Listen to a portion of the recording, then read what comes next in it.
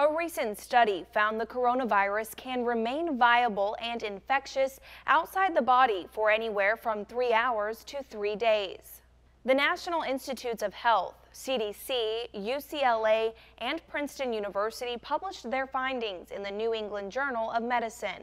The disease can remain viable for up to three hours in aerosols, up to four hours on copper surfaces, and up to 24 hours on cardboard. It can also last two to three days on plastic and stainless steel.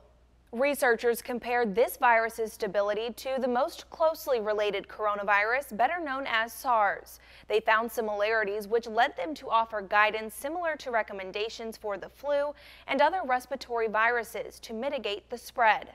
Public health professionals suggest washing your hands often, avoiding close contact with people who are sick, avoiding touching your eyes, nose, and mouth, staying home when you are sick, covering your coughs and sneezes with a tissue that you can throw away, and cleaning and disinfecting frequently touched objects or surfaces with a regular household cleaner.